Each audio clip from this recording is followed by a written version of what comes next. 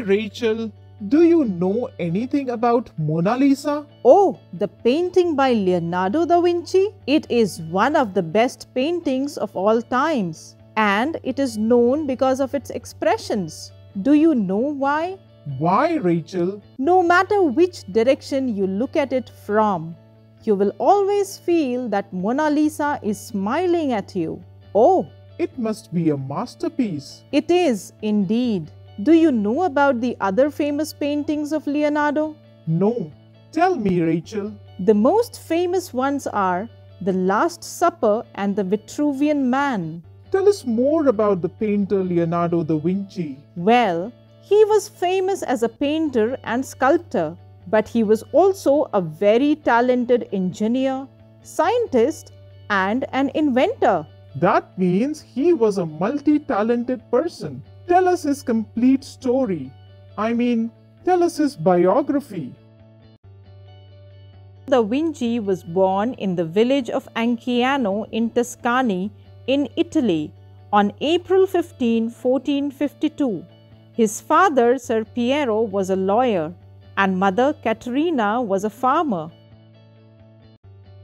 Young Da Vinci received little formal education beyond the basic reading, writing, and mathematics instruction, but he had artistic talents since childhood.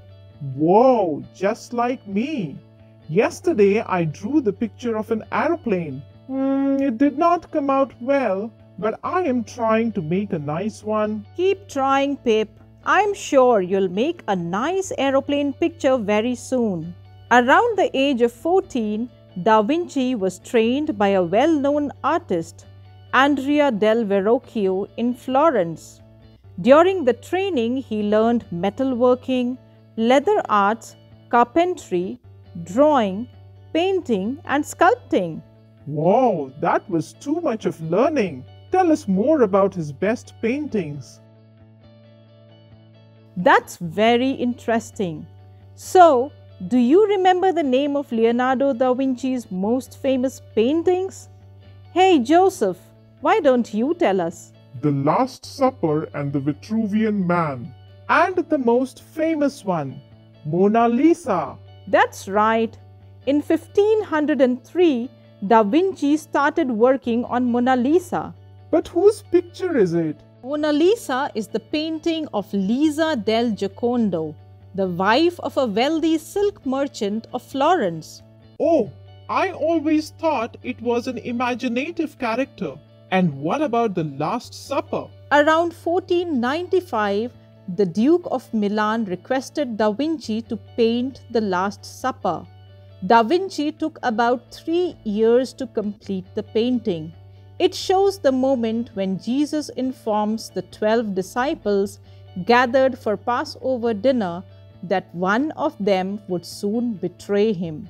What a beautiful painting it is! Leonardo da Vinci was surely a genius of art. Well, Pip, he always thought that art and science are together. His painting, The Vitruvian Man, is an example of his artistic as well as scientific intelligence. Rachel, you said that he was an inventor too. So, what did he invent? Da Vinci always thought ahead of his time. In a time when even bicycles were not invented, Da Vinci created the flying machine, which is inspired by a bat. His book, Codex on the Flight of Birds, is a study on the flight of birds which he began in 1505. Wow, a painter, sculptor, and inventor.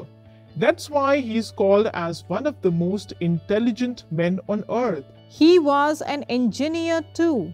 In 1502 and 1503, Da Vinci worked in Florence as a military engineer and worked on military construction projects and sketched city plans. Da Vinci went to Milan in 1506 to work for French rulers, but he left the city again due to political problems and moved to Rome in 1513. In the year 1515, the new French monarch Francis I called him back to France and gave him the title of Premier Painter and Engineer and Architect to the King.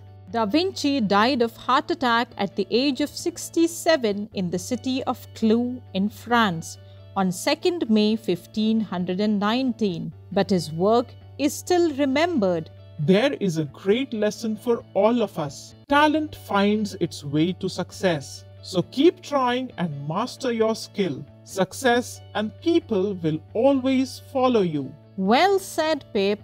Looks like the stories of our great personalities have inspired you a lot. That's true, Rachel. Friends, if you want to listen to more interesting, inspirational stories of great personalities, then hop on to our website www.makemegenius.com and also find more interesting facts, quizzes, and a picture gallery of the paintings of Leonardo da Vinci only at www.makemegenius.com. We will bring another interesting story to you soon. Until then, stay subscribed to our YouTube channel and press the bell icon so that you don't miss our upcoming videos.